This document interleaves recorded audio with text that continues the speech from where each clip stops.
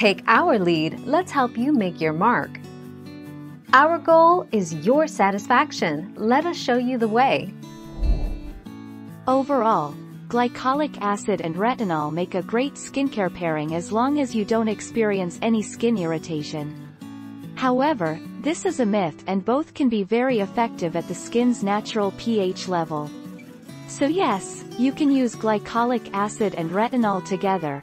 You just need to listen to your skin.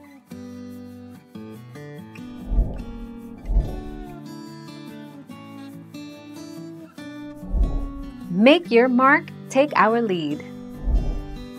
Glycolic acid tends to be more mild than a retinol, and is ideal if your concerns are more focused on dull or tired-looking skin.